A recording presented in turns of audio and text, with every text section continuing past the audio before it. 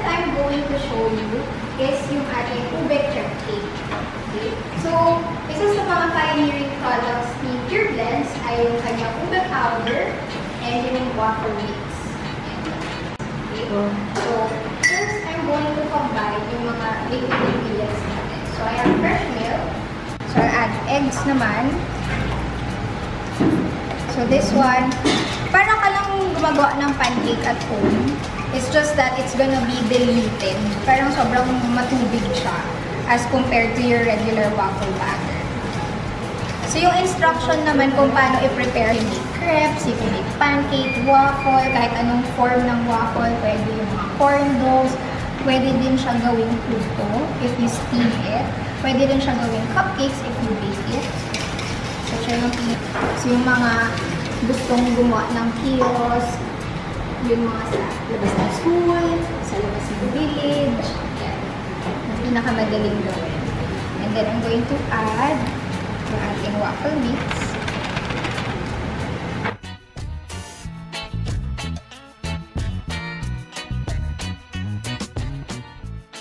So, yung powder naman, it's flavor and color in one. So, kapag ube, so violet, tsaka ube flavor. Tapos yung instruction, nandito din siya sa packaging. So, usually, it's just 5 to 10% based sa batter. So, if you're gonna make isang kilo ng batter, kahit ano pa yan, cookies, cake, icing man yan, and then you just add one sachet of this one. And if gusto mo pantapangan, pwede mo gawin dalawang sachet.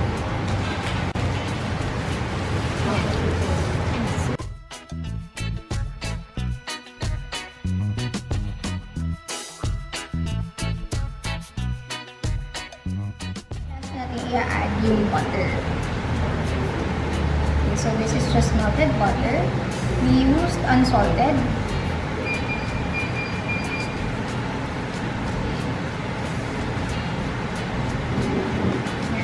So, isang technique when you're making crepes is that mas maganda kapag yung batter mo, i-rest mo siya bago mo siya iluto.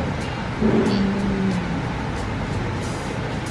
Kasi pag eto, ginamit mo siya kaagad, tendency kasi is, sobrang active pa ng mga leavening agent dun sa mix. So when you cook it, it's like, pag niluto mo yung pancake, di ba nakikita niyo yung mga bulak-bulak? So yun, pag crepe kasi, we don't want that. Kasi di ba we want our crepe to be as smooth as possible. And then, very little yung mga air holes niya. Kasi kailangan natin walang butas, di ba? Mm. So yun, so you have to rest this one.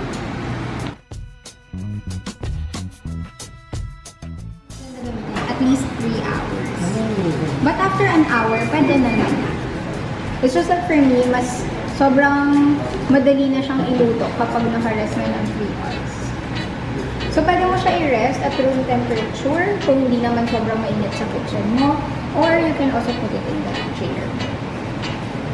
Bago mo siya lutuin, dapat naka-reheat na siya ulit. So, meron tayong naka-rest. So, yun yung gagamitin natin.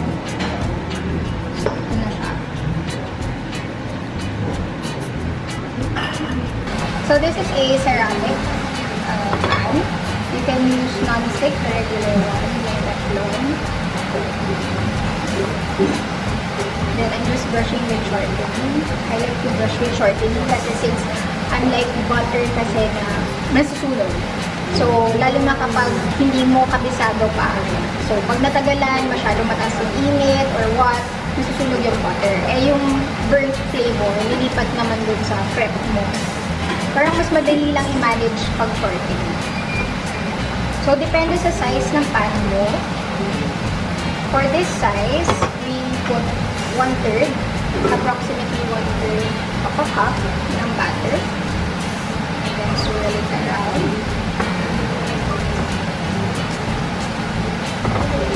Tupo.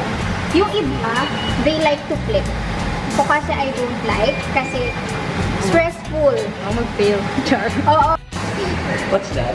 Wax paper. Wax paper. Yeah, so that pag finish, ah, Oh. Oh!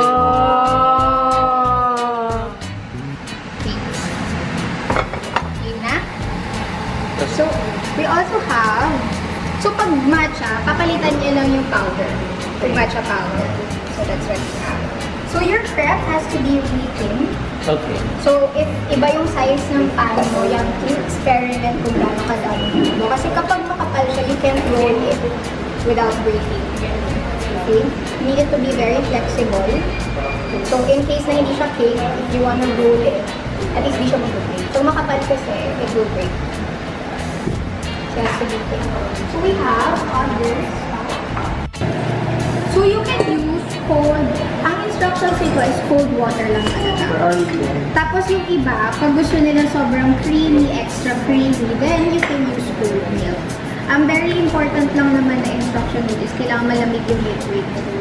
Kasi yung liquid yung magpapa-emulsify at magpapa-whip dito sa cream natin. Saka-efficient ng powder. Kasi lalo na sa mga startup businesses. Pag cream kasi di ba liquid yun. Kailangan naka-refrigerate or naka-freeze.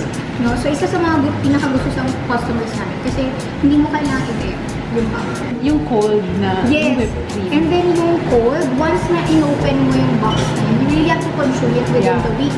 Kasi pag in So what I did is I mixed the powder and the cold milk. Okay, and then we're just gonna whip it sa mixer.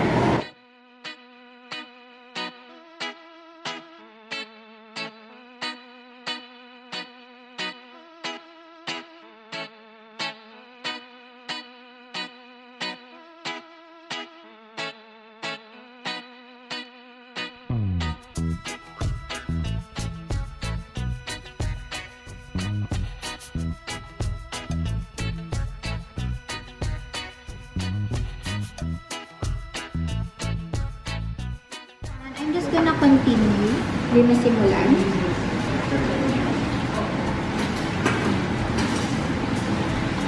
Okay. So, since yung crepe natin is very thin, uh, you also have, you also want na yung icing na ilalagay mo would be as thin as possible. Kasi, since maraming stacks siya, kapag tinapalan mo, tapos makapal, makapal, makapal, uh, it won't be stable. Ah, Diba? Tsaka pag kinain mo, I think nakaka-umay Umay. naman. Kasi ang nipis nung cake mo, tapos ang Kasi kapal ang ng icing. icing. So parang puro icing na yung kinain mo. Tama. So, konti lang.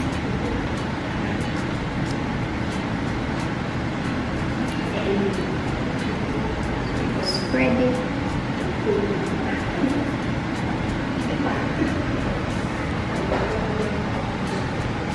The cream, when it's still plain, wala pang halong ibang flavor, you can store it in the freezer. It will last you up to two months.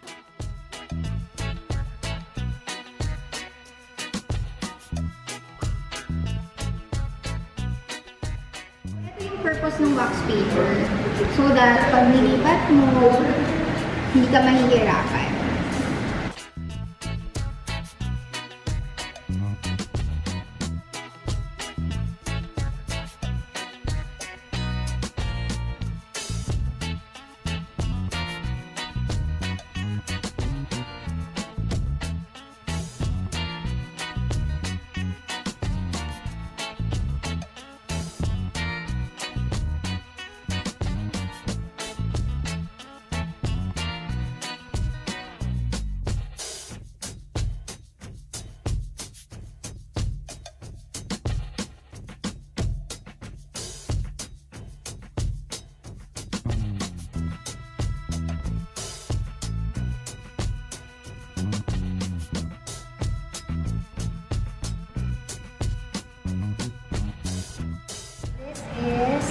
breadcrumbs lang. So, this is the cupcake na kinain niya.